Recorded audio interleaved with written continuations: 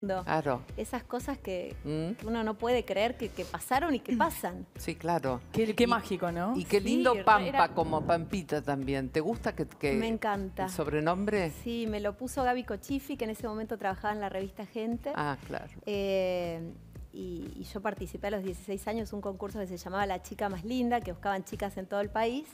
Y como obviamente no se acordaban los nombres de todas, era Pampa, Formosa, Salta. Salta, vení, te toca, te iban diciendo por la provincia. Eh, y bueno, y unos años después me encuentro y me dice, mirá Pampita cómo creció. Porque ya había pasado unos años.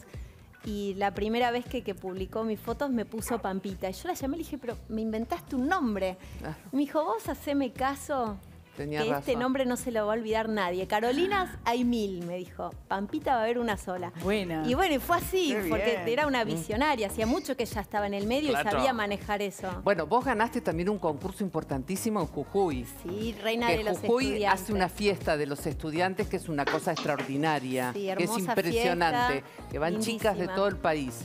Y allí también, ¿no? Sí, primero gané en mi colegio, como la reina del colegio. Ah. Después la reina de la capital, de Santa Rosa, reina. reina. provincial.